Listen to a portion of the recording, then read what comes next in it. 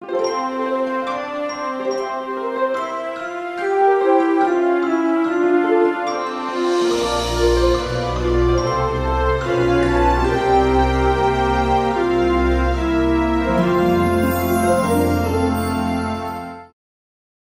malam, Bapak, Ibu, dan saudara-saudari sekalian.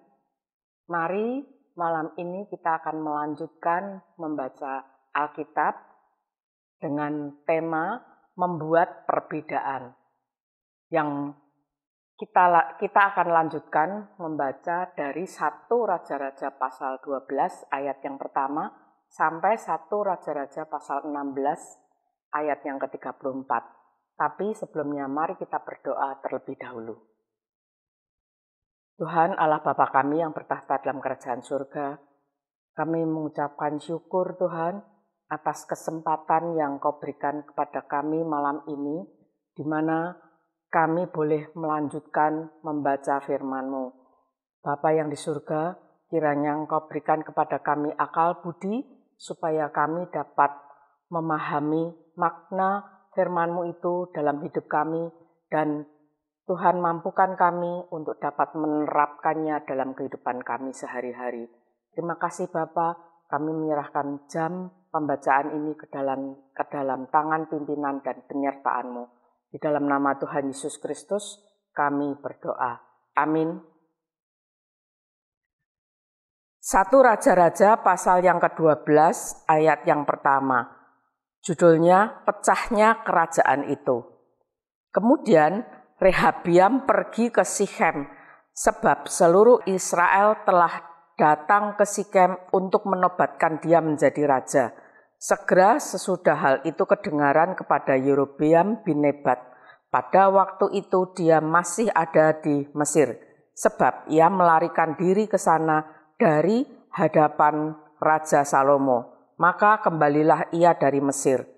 Orang menyuruh memanggil dia, lalu datanglah Yerobeam dengan segenap jemaah Israel dan berkata kepada Rehabiam, Ayahmu telah memberatkan tanggungan kami, maka sekarang ringankanlah pekerjaan yang sukar yang dibebankan ayahmu dan tanggungan yang berat yang dipikulkannya kepada kami, supaya kami menjadi hambamu tetapi ia menjawab mereka, Pergilah sampai lusa, kemudian kembalilah kepadaku.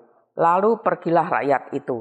Sesudah itu Rehabiam meminta nasihat dari para tua-tua yang selama hidup Salomo mendampingi Salomo ayahnya katanya, apakah nasihatmu untuk menjawab rakyat itu? Mereka berkata, jika hari ini engkau mau menjadi hamba rakyat, mau mengabdi kepada mereka dan menjawab mereka dengan kata-kata yang baik, maka mereka menjadi hamba-hambamu sepanjang waktu. Tetapi ia mengabaikan nasihat yang diberikan para tua-tua itu. Lalu ia meminta nasihat kepada orang-orang muda yang sebaya dengan dia dan yang mendampinginya. Katanya kepada mereka, Apakah nasihatmu? supaya kita dapat menjawab rakyat yang mengatakan kepadaku, Ringankanlah tanggungan yang dipikulkan kepada kami oleh ayahmu. Lalu orang-orang muda yang sebaya dengan dia itu berkata, Beginilah harus kau katakan kepada rakyat yang telah berkata kepadamu, Ayahmu telah memberatkan tanggungan kami, tetapi engkau ini berilah keringanan kepada kami.' Beginilah harus kau katakan kepada mereka, kelingkingku lebih besar daripada pinggang ayahku. Maka sekarang ayahku telah membebankan kepada kamu tanggungan yang berat, tetapi aku akan menambah tanggungan kamu. Ayahku telah menghajar kamu dengan cambuk, tetapi aku akan menghajar kamu dengan cambuk yang berduri besi. Pada hari lusanya, datanglah Yerobiam dengan segenap rakyat kepada Rehabiam seperti yang dikatakan raja, kembalilah kepadaku pada hari lusa. Raja menjawab rakyat itu dengan keras.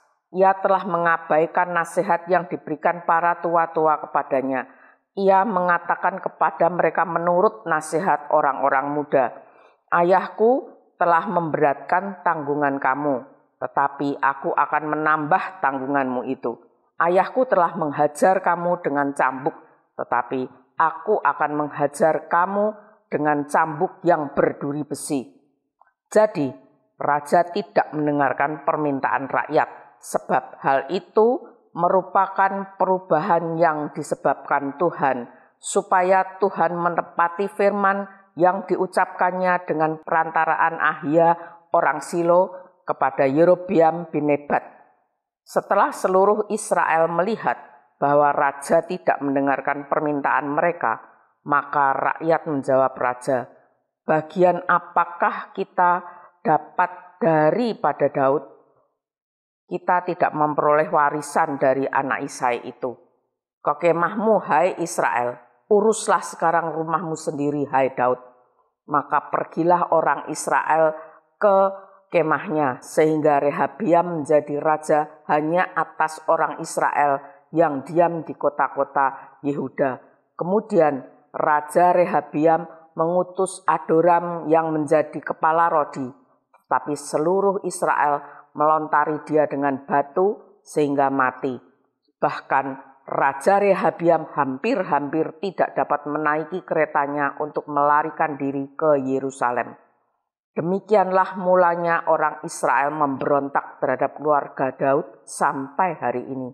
Segera sesudah seluruh Israel mendengar bahwa Yerobeam sudah pulang, maka mereka menyuruh memanggil dia ke perkemahan jemaah.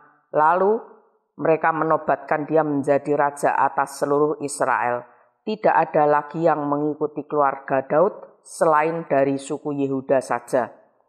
Ketika Rehabiam datang ke Yerusalem, ia mengumpulkan segenap kaum Yehuda dan suku Benyamin 180 ribu teruna yang sanggup berperang untuk memerangi kaum Israel dengan maksud mengembalikan kerajaan itu kepada Rehabiam anak Salomo tetapi datanglah firman Allah kepada Semaya, abdi Allah demikian. Katakanlah kepada Rehabiam anak Salomo, Raja Yehuda, dan kepada segenap kaum Yehuda dan Benyamin, dan kepada selebihnya dari bangsa itu. Beginilah firman Tuhan, janganlah kamu maju dan janganlah kamu berperang melawan saudara-saudaramu orang Israel.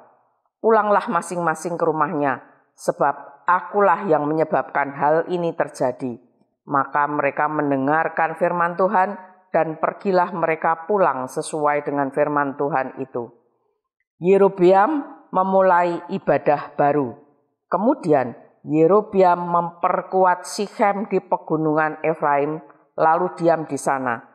Ia keluar dari sana, lalu memperkuat Penuel.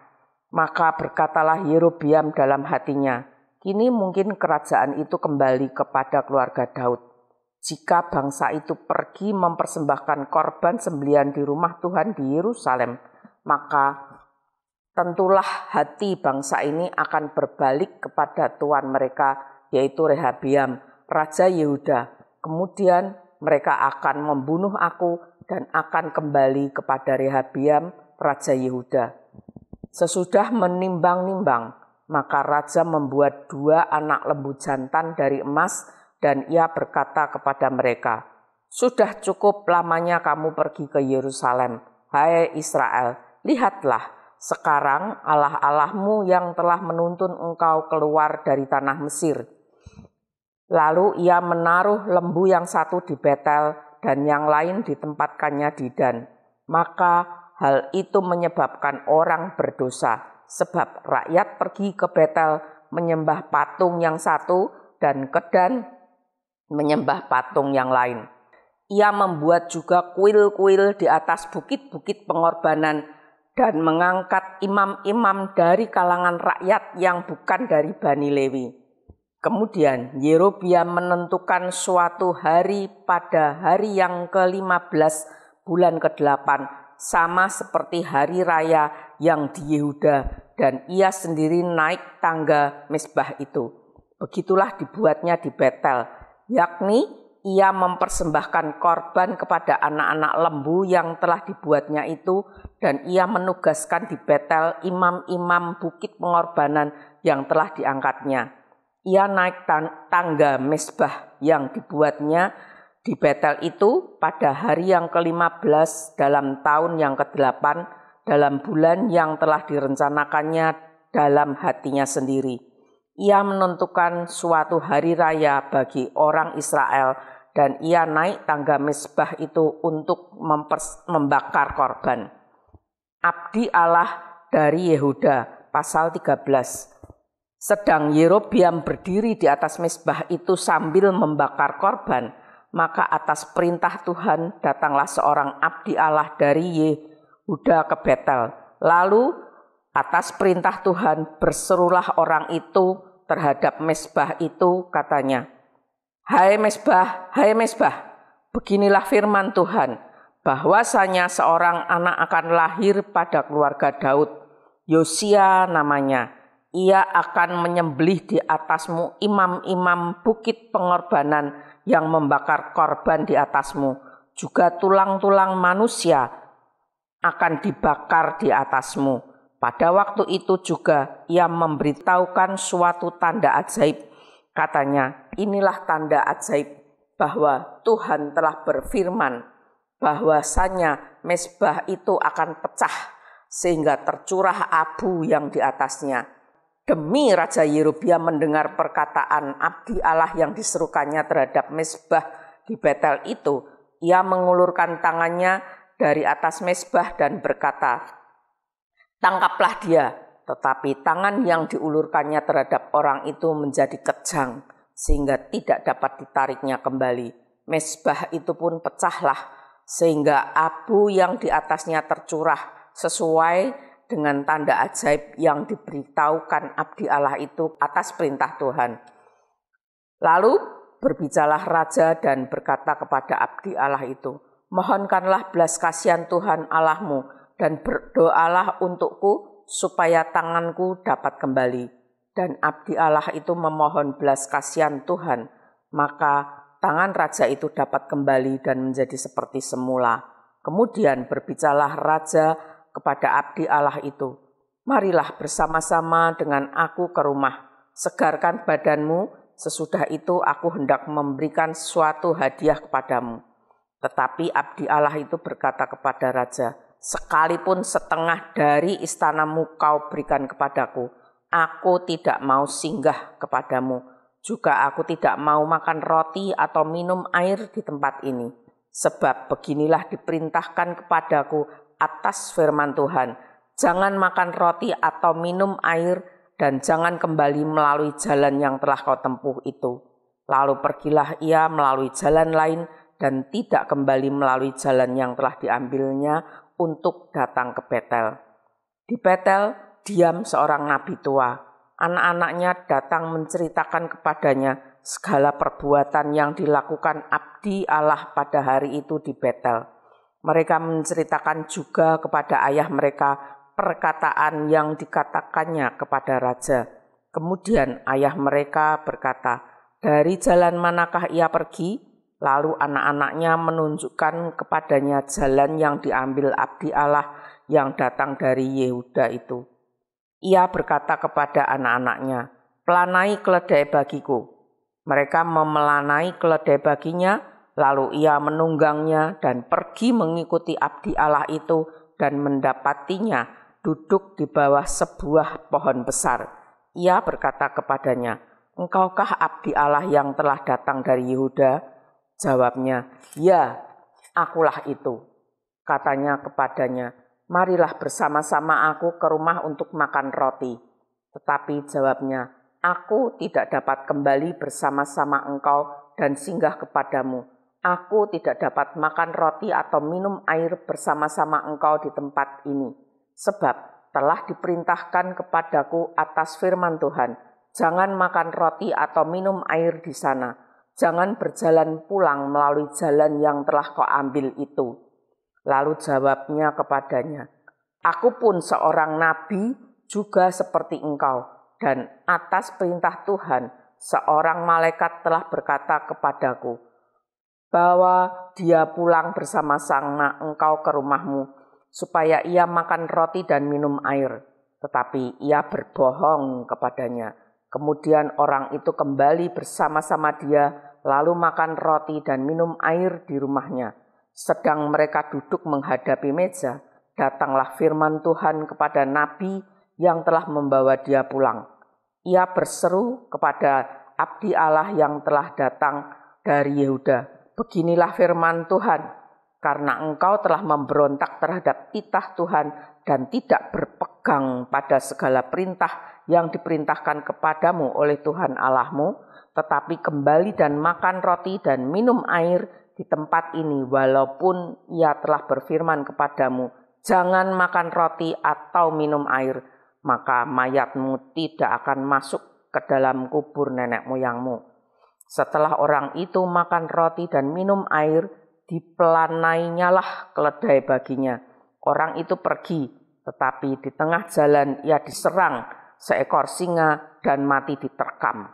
Mayatnya tercampak di jalan dan keledai itu berdiri di sampingnya. Singa itu pun berdiri di samping mayat itu. Orang-orang yang lewat melihat mayat itu tercampak di jalan dan singa berdiri di sampingnya dan mereka menceritakannya di kota tempat kediaman Nabi tua itu. Ketika hal itu kedengaran kepada Nabi yang telah membujuk dia berbalik kembali, ia berkata, Dialah abdi Allah yang telah memberontak terhadap titah Tuhan. Tuhan menyerahkan dia kepada singa. Ia mencabik dan membunuhnya sesuai dengan firman Tuhan yang diucapkannya kepadanya. Lalu berbicaralah ia kepada anak-anaknya, Pelanailah keledai bagiku, dan mereka memelanainya. Kemudian ia pergi dan menemukan mayat orang itu tercampak di jalan sedang keledai dan singa berdiri di sampingnya. Singa itu tidak memakan mayat itu dan tidak mencabik keledai itu. Nabi tua itu mengangkat mayat abdi Allah itu, menaruhnya ke atas keledai dan membawanya kembali ke kotanya sendiri untuk diratapi dan dikuburkan. Mayat orang itu dikuburkannya di dalam kuburnya sendiri, maka diratapilah dia. Wahai saudaraku, setelah ia menguburkannya, ia berkata kepada anak-anaknya, "Kalau aku mati, kuburkanlah aku dalam kubur ini bersama dengan abdi Allah itu, dan taruhlah tulang-tulangku di, di sisi tulang-tulangnya, sebab perkataan yang atas perintah Tuhan telah diserukannya terhadap mesbah yang di Betel itu, dan terhadap segala kuil di bukit-bukit pengorbanan yang di kota-kota Samaria akan betul-betul terjadi. Sesudah peristiwa ini pun Yerobiam tidak berbalik dari kelakuannya yang jahat itu, tetapi mengangkat pula imam-imam dari kalangan rakyat untuk bukit-bukit pengorbanan. Siapa yang mau saja ditahbiskannya menjadi imam untuk bukit-bukit pengorbanan. Tindakan itu menjadi dosa bagi keluarga Yerobeam sehingga mereka dilenyapkan dan dipunahkan dari muka bumi.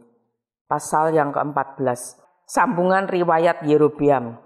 Pada waktu itu Abia anak Yerobiam jatuh sakit. Lalu Yerobiam berkata kepada istrinya, Berkemaslah, menyamarlah, supaya jangan diketahui orang bahwa engkau istri Yerobiam dan pergilah ke Silo.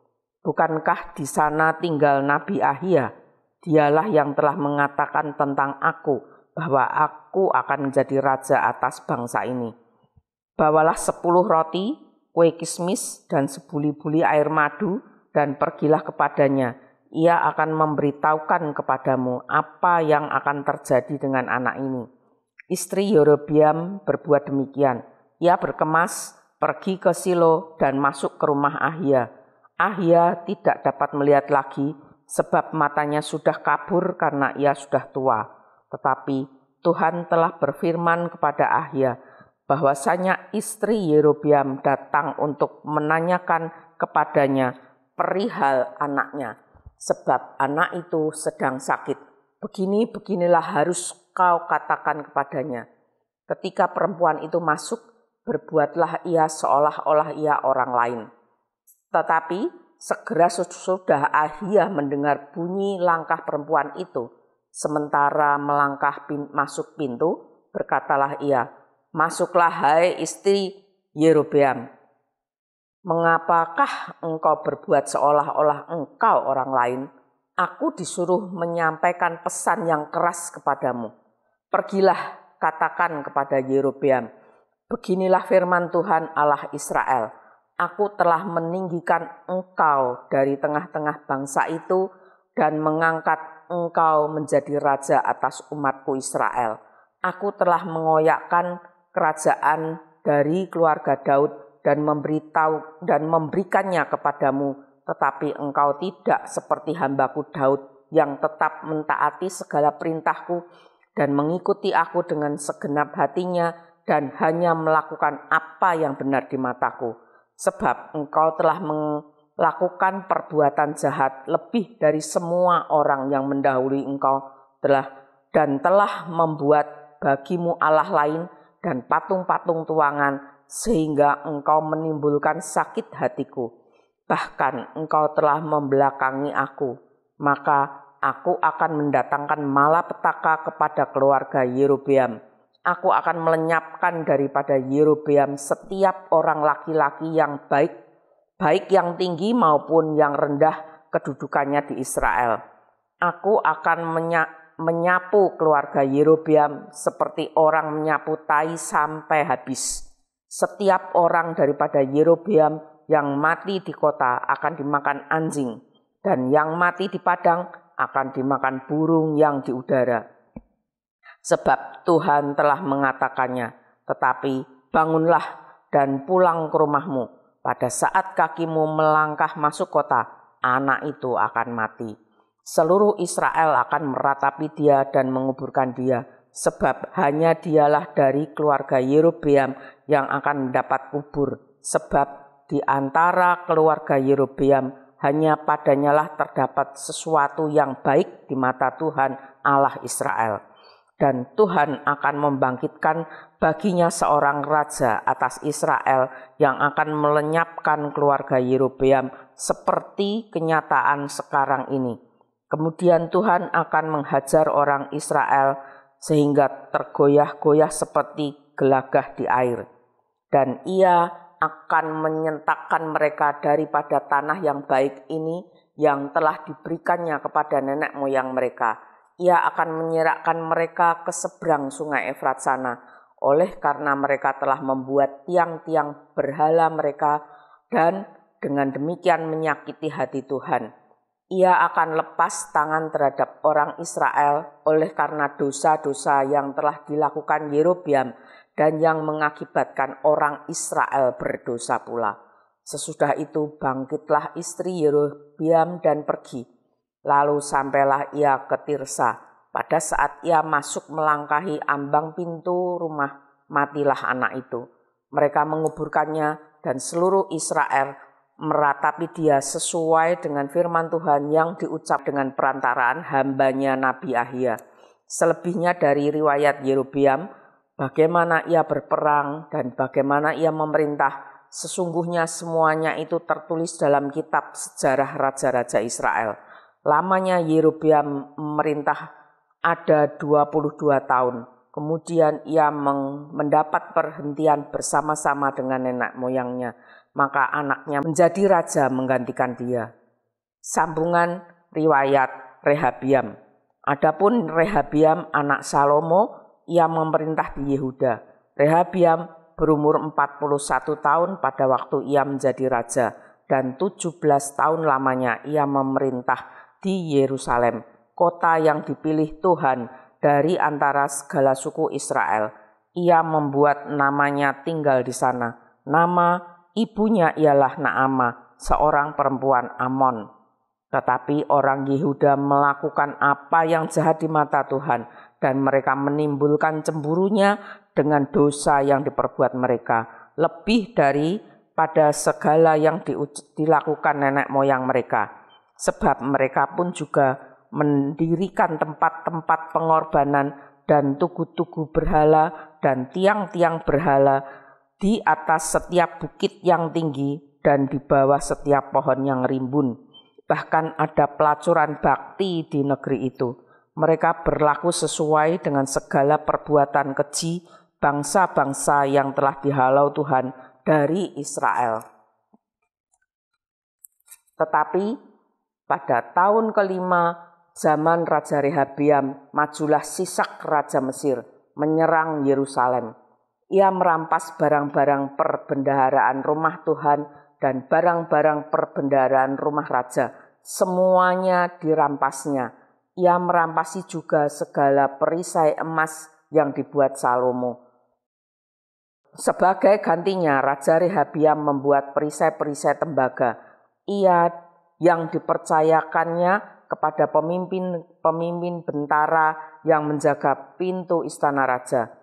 Setiap kali raja masuk ke rumah Tuhan, bentara-bentara membawa masuk perisai-perisai itu dan mereka pula yang mengembalikannya ke kamar jaga para bentara.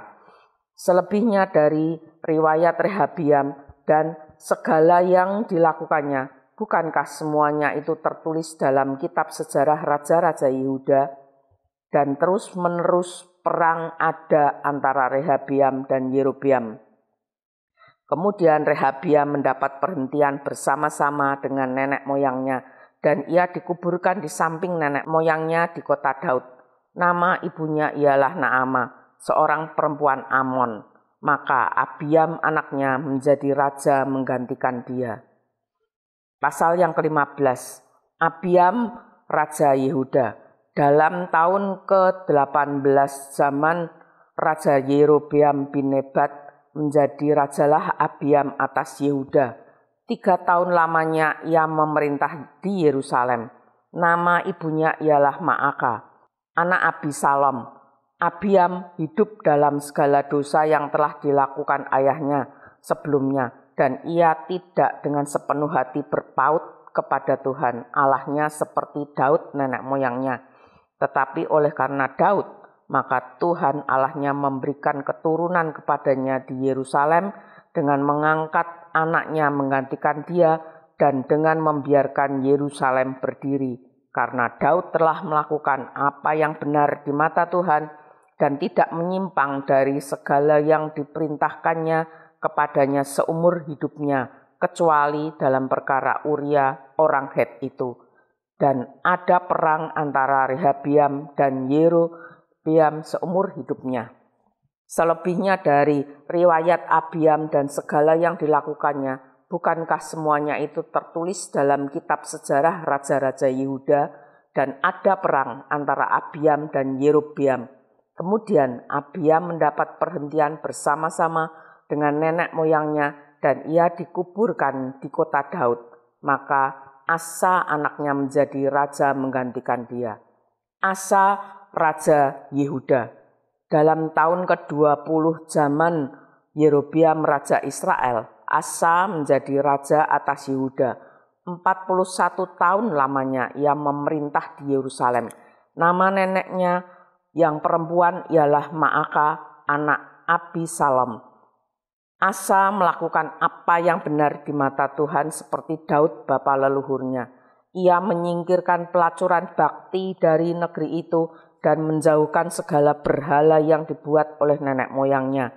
Bahkan ia memecat Maaka, neneknya dari pangkat ibu suri karena neneknya itu membuat patung Asyera yang keji. Asa merobohkan patung yang keji itu dan membakarnya di lembah Kidron. Sekalipun bukit-bukit pengorbanan tidak dijauhkan, namun asa berpaut kepada Tuhan dengan segenap hatinya sepanjang umurnya. Ia membawa persembahan-persembahan kudus ayahnya dan persembahan-persembahan kudusnya sendiri ke rumah Tuhan, yakni emas dan perak serta barang-barang lain. Dan ada perang antara Asa dan Baesa Raja Israel sepanjang umur mereka Baesa Raja Israel maju berperang melawan Yehuda dan ia memperkuat Rama dengan maksud mencegah lalu lintas kepada Asa Raja Yehuda. Tetapi Asa mengambil segala emas dan perak yang masih tinggal dalam perbendaraan rumah Tuhan dan dalam perbendaraan rumah raja dan menyerahkannya kepada pegawainya. Kemudian Raja Asa mengutus mereka kepada Ben-Hadad bin Tabrimon bin Hesion, Raja Aram yang diam di Damsyik, dengan membawa pesan, ada perjanjian antara aku dan engkau, antara ayahku dan ayahmu. Di sini kukirim kepadamu suatu bingkisan, yaitu emas dan perak. Marilah batalkanlah perjanjianmu dengan Baisa, Raja Israel, supaya ia undur daripadaku. Lalu Ben Hadad mendengarkan permintaan Raja Asa. Ia menyuruh panglima-panglima menyerang kota-kota Israel dan ia mengalahkan Ion dan Abel Bet Maaka dan seluruh Kinerot serta seluruh tanah Naftali. Segera sesudah Baesa mendengar hal itu, ia berhenti memperkuat Rama dan ia menetap di Tirsa. Tetapi Raja Asa mengerahkan segenap Yehuda, seorang pun tiada yang terkecuali. Mereka harus mengangkat batu dan kayu yang dipergunakan Baesa untuk memperkuat Rama. Raja Asa mempergunakannya untuk memperkuat Geba Benyamin dan Mispa. Selebihnya dari seluruh riwayat Asa dan segala kepahlawanannya dan segala yang dilakukannya dan kota-kota yang diperkuatnya, bukankah semuanya itu tertulis dalam kitab sejarah Raja-Raja Yehuda? Tetapi pada masa tuanya ia menderita sakit pada kedua kakinya Kemudian Asa mendapat perhentian bersama-sama dengan nenek moyangnya dan ia dikuburkan di samping nenek moyangnya di kota Daud, bapa leluhurnya. Maka Yosafat anaknya menjadi raja menggantikan dia. Nadab anak Yerobeam menjadi raja atas Israel dalam tahun kedua zaman Asa, raja Yehuda. Ia memerintah atas Israel dua tahun lamanya ia melakukan apa yang jahat di mata Tuhan, serta hidup menurut tingkah laku ayahnya dan menurut dosa ayahnya yang mengakibatkan orang Israel berdosa pula. Dan Baesa bin Ahia dari kaum Isakar mengadakan persepakatan melawan dia. Baesa menewaskan dia di Gibeton yang termasuk wilayah orang Filistin. Sedang Nadab dan seluruh Israel mengepung Gibeton itu. Baesa membunuh dia dalam tahun ketiga zaman Asa Raja Yehuda dan menjadi raja menggantikan dia. Segera sesudah ia menjadi raja, ia membunuh seluruh keluarga Yerobeam. Tidak ada yang bernafas yang ditinggalkannya hidup daripada Yerobeam sampai dipunahkannya semuanya sesuai dengan firman Tuhan yang diucapkannya dengan perantaraan hambanya Ahia orang Silo itu oleh karena dosa-dosa yang telah dilakukan Yerobiam yang mengakibatkan orang Israel berdosa pula oleh sebab sakit hati yang ditimbulkannya pada Tuhan Allah Israel. Selebihnya dari riwayat Nadab dan segala yang dilakukannya bukankah semuanya itu tertulis dalam kitab sejarah raja-raja Israel? Dan ada perang antara Asa dan Baesa raja Israel sepanjang umur mereka dalam tahun ketiga zaman Asa Raja Yehuda, Baesa bin Ahia menjadi raja atas seluruh Israel di Tirsa. Ia memerintah 24 tahun lamanya. Ia melakukan apa yang jahat di mata Tuhan serta hidup menurut tingkah laku Yerobiam dan menurut dosanya yang mengakibatkan orang Israel berdosa pula.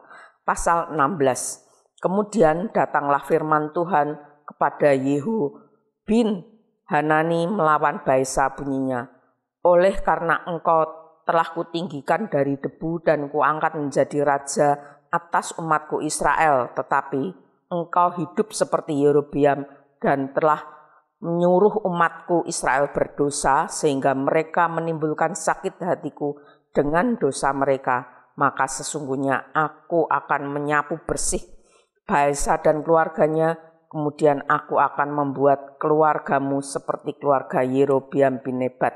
Siapa yang mati daripada Baisa di kota akan dimakan anjing, dan yang mati daripadanya di padang akan dimakan burung yang di udara. Selebihnya dari riwayat Baisa dan apa yang dilakukannya dan kepahlawanannya, bukankah semuanya itu tertulis dalam kitab sejarah Raja-Raja Israel? Kemudian Baisa mendapat perhentian bersama-sama dengan nenek moyangnya dan ia dikuburkan di Tirsa. Maka Ela anaknya menjadi raja menggantikan dia. Juga dengan perantaraan Nabi Yehu bin Hanani, firman Tuhan telah datang melawan Baesa dan melawan keluarganya, baik karena segala yang jahat yang telah dilakukannya di mata Tuhan, sehingga ia menimbulkan sakit hati Tuhan dengan perbuatan tangannya, dan dengan demikian sama dengan seperti keluarga Yerobiam maupun oleh karena ia telah membunuh Yerobiam. Ela, Raja Israel. Dalam tahun ke-26 zaman Asa, Raja Yehuda, Ela anak Baisa menjadi raja atas Israel di Tirsa. Ia memerintah dua tahun lamanya. Zimri pegawainya yang menjadi panglima atas setengah dari pasukan kereta mengadakan persepakatan melawan dia. Ketika ia minum-minum sampai mabuk di Tirsa di rumah Arsa yang menjadi kepala istana di Tirsa, datanglah Simri lalu membunuh dia dalam tahun ke-27 zaman Asa, Raja Yehuda, dan ia menjadi raja menggantikan dia. Pada waktu ia menjadi raja itu, segera sesudah ia duduk di atas tahtanya, ia membunuh seluruh keluarga Baisa. Tidak ada seorang laki-laki pun daripadanya yang ditinggalkannya hidup, juga kaumnya dan teman-temannya Demikianlah Simri memunahkan seluruh keluarga Baisa sesuai dengan firman Tuhan yang diucapkannya kepada Baisa dengan perantaraan Nabi Yehu oleh karena segala dosa yang telah dilakukan Baisa dan Ela anaknya yang mengakibatkan orang Israel berdosa pula sehingga mereka menimbulkan sakit hati Tuhan Allah Israel dengan dewa-dewa kesia-siaan mereka Selebihnya dari riwayat Ela dan segala yang dilakukannya, bukankah semuanya itu tertulis dalam kitab sejarah Raja-Raja Israel? Dalam tahun ke-27 zaman Asa Raja Yehuda, Simri menjadi raja. Ia memerintah tujuh hari lamanya di Tirsa. Sedang rakyat berkemah mengepung Gibeton yang termasuk wilayah orang Filistin. Setelah rakyat yang berkemah itu mendengar orang mengatakan, Simri telah mengadakan persepakatan dan ia pun telah membunuh raja. Maka pada hari itu juga di tempat perkemahan seluruh Israel menobatkan Omri, panglima perang menjadi raja atas Israel. Kemudian Omri dengan seluruh Israel maju dari Gibeton dan mereka mengepung Tirsa.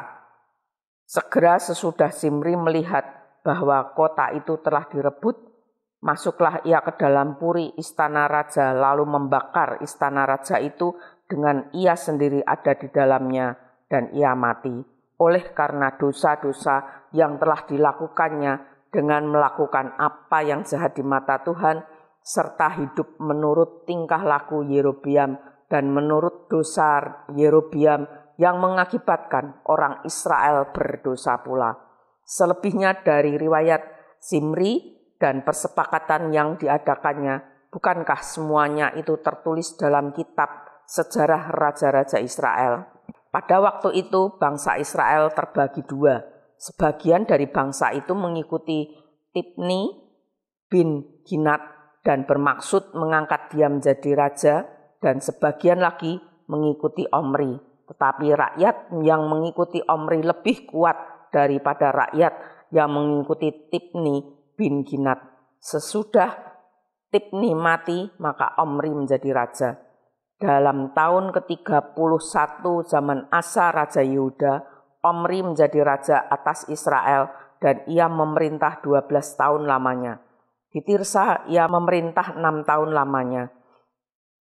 Kemudian ia membeli gunung Samaria daripada Semer dengan dua talenta perak. Ia mendirikan suatu kota di gunung itu dan menamainya Samaria menurut nama Semer pemilik gunung itu. Omri melakukan apa yang jahat di mata Tuhan dan ia melakukan kejahatan lebih daripada segala orang yang mendahuluinya.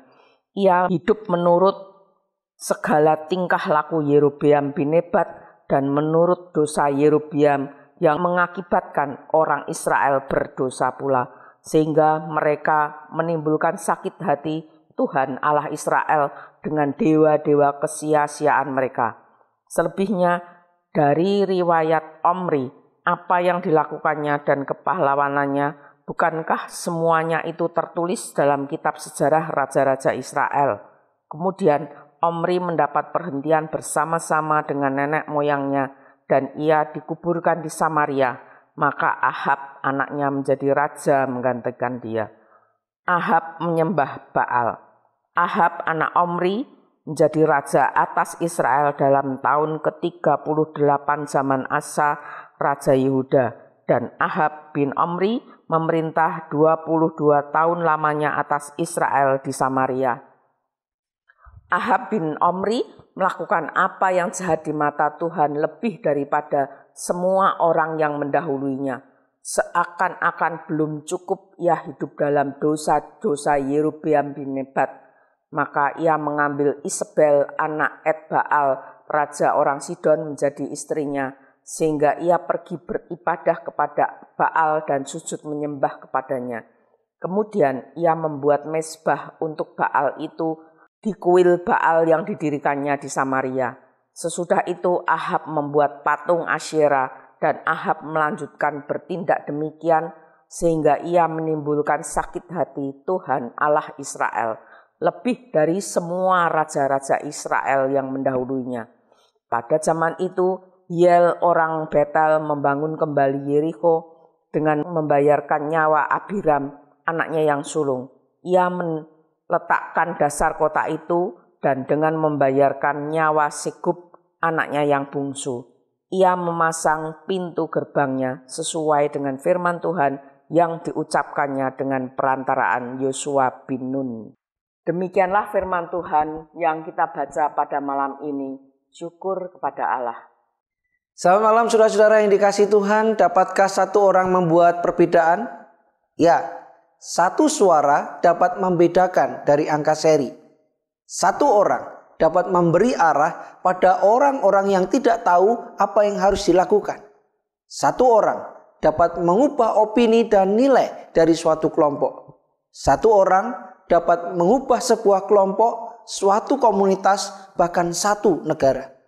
Alkitab berisi kisah tentang bagaimana Tuhan mengubah sejarah melalui beberapa orang yang punya komitmen untuk mengasihi dan mengikuti Dia.